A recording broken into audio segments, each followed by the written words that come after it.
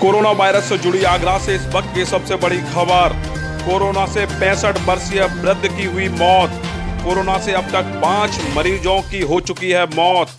पिछले 24 घंटे में 19 नए कोरोना केस के साथ एक सौ सड़सठ पहुँची संख्या। एक सौ सड़सठ कोरोना पॉजिटिव मामलों में 70 से अधिक जमाती शामिल हैं। कोरोना संक्रमितों की संख्या बढ़ने का सिलसिला जारी।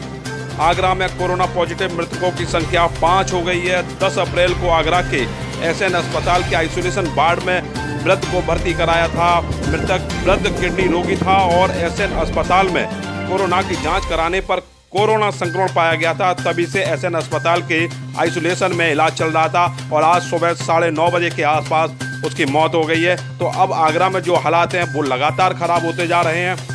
तो हम आपको बता दें कि कोरोना वायरस से जुड़ी आगरा से इस वक्त की सबसे बड़ी खबर, कोरोना से पैंसठ वर्षीय वृद्ध की मौत हो गई है और अब ये आंकड़ा बढ़कर चार से पाँच हो गया है। तो 24 घंटे में जहाँ 19 नए कोरोना केस के साथ एक सौ सड़सठ पर संख्या पहुँची है तो एक सौ सड़सठ कोरोना पॉजिटिव मामलों में 70 से अधिक जमाती शामिल है। तो कोरोना संक्रमितों की जो संख्या है, वो लगातार बढ़ती जा रही है और इस समय की हम आपको ताज़ा खबर बता दें कि अब जो आगरा में अब तक चार मौतें हुई थी आज सुबह साढ़े नौ बजे एक और मौत हुई है कोरोना से। कोरोना से पैंसठ वर्षीय वृद्ध की मौत हुई है। हालाँकि काफ़ी दिनों से जो है किडनी के रोग से वो ग्रस्त था और उसे अस्पताल में भर्ती कराया गया। और उसके बाद से एस अस्पताल में ये भर्ती था और उसका आइसोलेशन में इलाज चल रहा था।